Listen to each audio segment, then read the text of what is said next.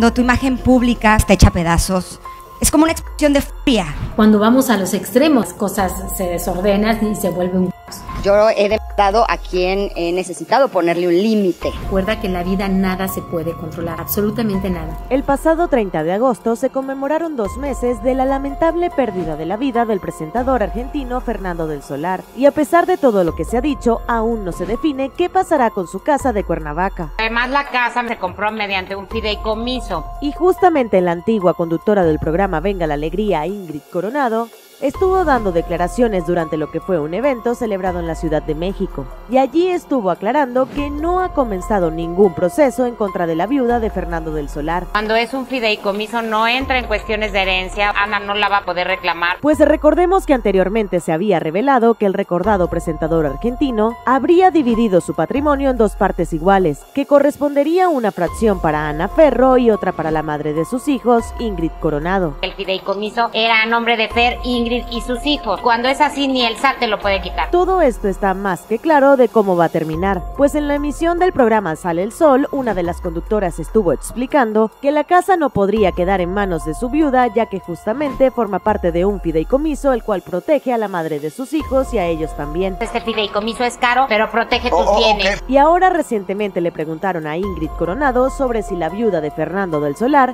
ya se había comunicado con ella para poder checar todo el tema del fideicomiso comiso de la casa. Todo está caminando bien legalmente. Y aunque las leyes de México son bastante claras, hasta el momento, según las propias palabras de Ingrid Coronado, no ha comenzado ninguna acción legal en contra de Ana Ferro. Yo no he iniciado ningún trámite legal. Pero esto no quiere decir que ella no quiera recuperar la casa que le pertenece, misma de la cual no ha podido disponer ante la negativa de la viuda de Fernando del Solar de salirse de ella. Ni del juicio de sucesión, ni del testamento, yo no he iniciado aún nada. Y también Ingrid Coronado en estas recientes declaraciones estuvo revelando los planes que aparentemente tendría al respecto con relación a esta propiedad. La decisión que tomé es que haría pasar un tiempo para que mis hijos salen sus vidas. También aprovechó la ocasión para pedirle a la prensa que cuiden toda la información que revelan sobre su familia, sobre todo con el tema de la relación que ella mantuvo con el recordado conductor. Poder tener la fortaleza para poder empezar a moverme con respecto a las demás cosas. Del mismo modo, Ingrid Coronado también estuvo aprovechando la ocasión para aclarar los rumores de este supuesto romance que ella mantiene con Marco Antonio Regil, y estuvo destacando que como siempre sucede en el mundo del espectáculo, ella suele ser la última en enterarse de todo lo que la involucra. Así que por ahora tal parece que este romance queda en veremos, aunque estuvo asegurando también que este conductor es bastante caballeroso. Recuerda que este es el Muro de la Fama, suscríbete y dale like a este video y no te olvides de visitar nuestros otros videos para mantenerte siempre informado de lo que ocurre en el mundo del espectáculo.